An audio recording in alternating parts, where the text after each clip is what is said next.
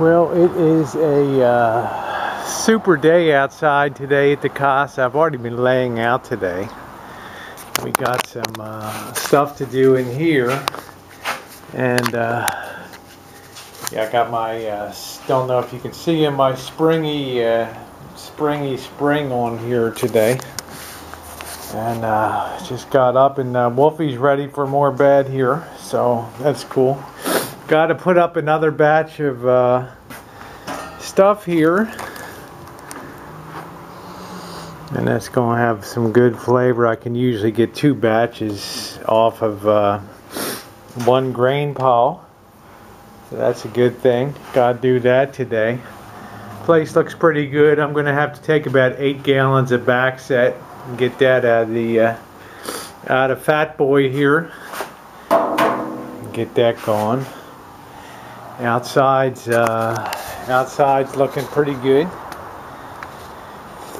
Yeah, I'm on top of the world. Uh, yeah, I don't think I'm gonna have to. Maybe I, you know, we had that rain, so I'm not sure if I'm gonna have to uh, cut the grass. I might be able to get away with the grass until Friday afternoon, but. Uh, man it's looking good. I got probably got to get a weed eater or something like that to get along that uh, fence line. The apple trees are looking good back there. The uh, orchard is super. People laugh Rosie that's not an orchard. You got a couple small semi-dwarf fruit trees back here. Well it's my orchard right? So sweet Got some early peaches on. You can see that fence line is just profuse with the uh, lady banks. The bottle brush plants are growing up the fence. I planted these about uh, one and three quarters years ago. And these should be as high as these over here and give a lot of nice uh, privacy for the fence. And I'm trying not to step in any uh, dog crap here.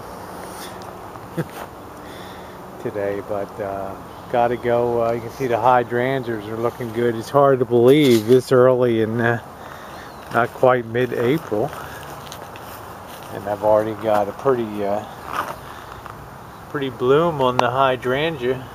One of them here.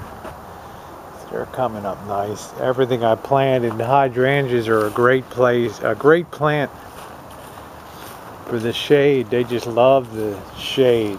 And it's amazing that you can get something so beautiful in a shady area. And that one's getting ready to uh, bud out. So they're, uh, they're really super happy in this area. Fence is falling apart over here. I don't know what the hell to do. You know, I'm not going to work on it. It's really on their side that it's coming through. I really don't give a shit, you know.